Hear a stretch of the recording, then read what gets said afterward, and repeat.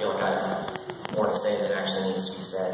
But I have plenty that I feel needs to be said for this concert. Just a brief rundown of the pieces. The first piece you heard us play was called Nightly Procession, which was written relatively, relatively recently. I don't know the year that Jack Wild was arranged it. He's a fantastic arranger for young bands.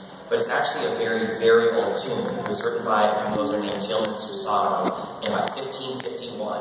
And I say written, it was only written down in about 1551, so the tune is actually quite old. It's a very old tune, dance tune that was written for instruments in the Renaissance period. And obviously the instrument making has come a long way, but the tune still holds kind of that dance-like feel. So I thought that was a fantastic thing to play with this group. And the last piece you just heard is one of the most fun things I've ever had putting together. It's called The Broken Marionette by Brian Balmages. Brian is a wonderful, prolific composer for young bands, and that's one of my favorites for the very, very young bands that he's written. The last piece you're going to hear is called Legend of Mekong, and it's a whole lot of fun.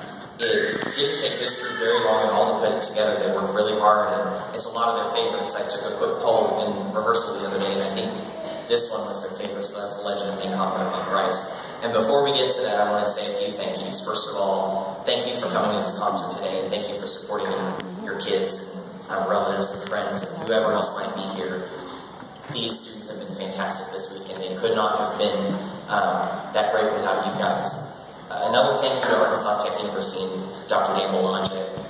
I was really, really honored to have been asked to come and conduct this band, and it's been a whole lot of fun for me this week.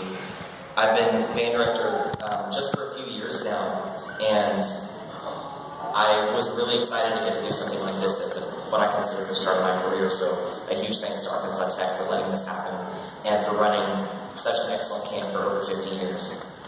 Um, a huge thank you to all of the sectional teachers. I know they're not all here today, but Zach Brown um, did the flute sectional, Brittany Crosby did the clarinet sectional, alto sax and horns. Um, Patrice Brown did that with a little bit of assistance from Kara Reynolds. Trumpets were done by Zach Whitworth. Trombones, well, all the rest were done by James Palmer, and the percussion was done by James Turner. And I know not all of them are here today, but would all of you please give them a round of applause?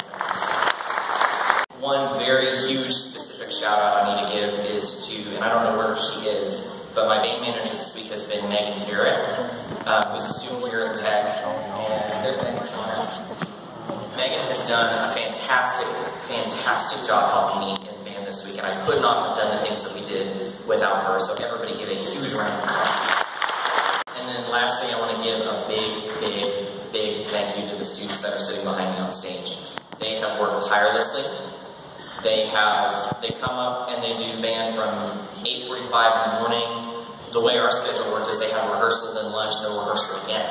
And so they had to work really hard and put in a lot of mental energy and focus into the music and to putting this music together. They've done a fantastic job.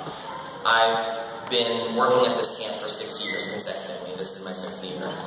And ever since I was a student here at Tech, and Tech Band Camp has a really special place for me, and I really hope that they have experienced that same, um, you know, kind of connectedness and belonging that I experienced when I was here at Band Camp. So thank you for bringing them. And now, without further ado, here is Legend of Mekong.